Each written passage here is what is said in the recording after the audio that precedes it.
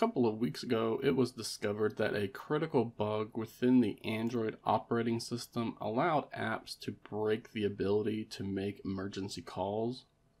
And while the original app in question now has an update that fixes the issue, the underlying bug is still present in Android.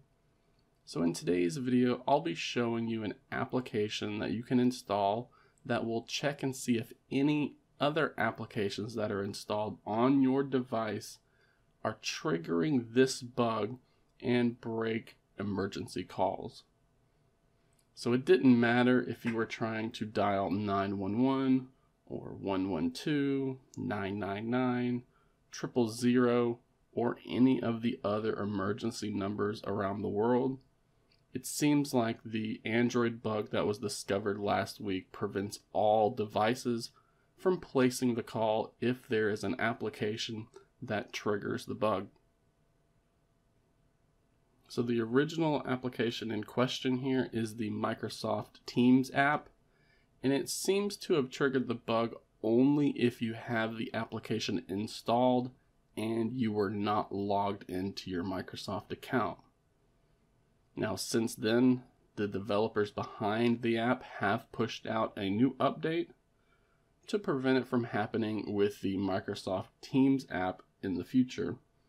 But the bug itself is still present in the Android operating system.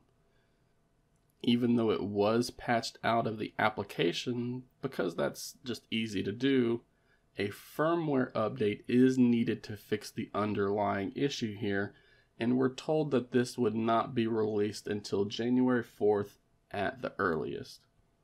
So until your device gets this new bug squashing firmware update, I want to share another application with you that you can install that will check and see if any applications are triggering this bug on your smartphone.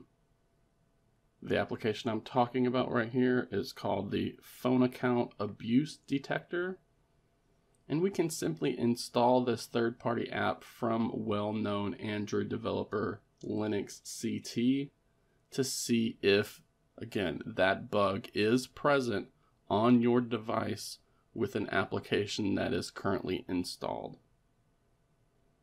I'll be linking to the GitHub page in the video description below for anyone who wants to read up on the project. You'll also find a download mirror for the APK in the video description as well. This application needs to be installed and opened up to see if there are any apps that trigger the issue.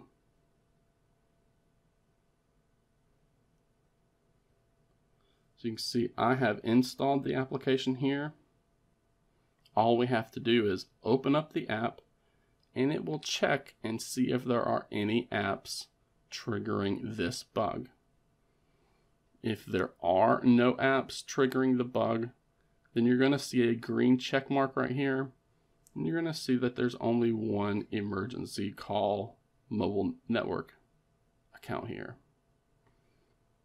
However, if you have an application that is abusing this bug, whether that is intentional or not, the phone account abuse detector app will look like this with a yellow sign here telling you that there is an application abusing this bug.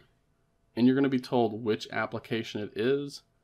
And again, this is how the app is detecting which apps are abusing this bug. So if you install this app and see a yellow sign right here, be sure to check which application is in this list and then you now have the option to either disable or uninstall that application so that you can place emergency calls again. And that's really all there is to this application. All we need to do is open it up, let it check for the applications we have installed, and it will tell you if something is abusing that Android operating system bug or not. So I highly recommend anybody who is running an Android device install this free third-party app to make sure that you are not experiencing this critical bug so that you can place emergency phone calls when needed.